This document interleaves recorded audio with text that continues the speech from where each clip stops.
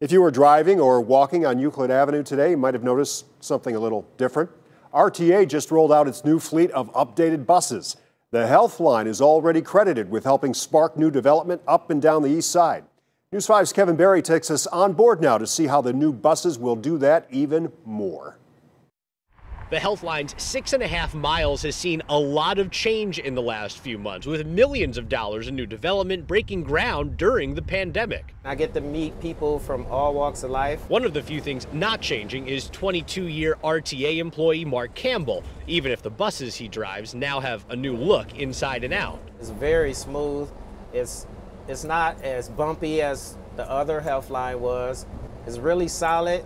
It's very quiet. Those new buses that RTA rolled out to pick up customers on Monday has that new wrap on the outside, but it also has a long list of COVID-inspired updates, like plastic seats that are easy to clean, a plastic door to cover drivers when passengers enter, and hand sanitizer at every door. It gives us a safety net to know, hey, if they sneeze, we'll be okay, you know? Come on aboard. RTA District Director Nicholas Bigger says additional upgrades like new stroller and bike storage in the bus, 360 degree 4K HD security cameras, and screens on the bus show riders where the route goes and when they'll get to their next stop. I think if you look at the Euclid corridor, uh, it was a tremendous success story not only just for RTA, but also for the city of Cleveland as a whole. Pre-pandemic estimates say the health line sparked nearly $10 billion of investment along the Euclid corridor. That doesn't include the hundreds of new apartments near downtown that recently opened up, and the hundreds more being built right now in Jeff Epstein's Midtown neighborhood. The Healthline is absolutely catalytic uh, to everything that's going on in Midtown today. New, safer buses, Jeff says,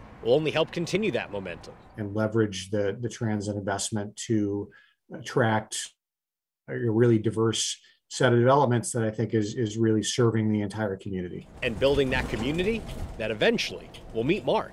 I have a lot of rapport with a lot of people up and down Euclid. In Cleveland, I'm Kevin Barry, News 5.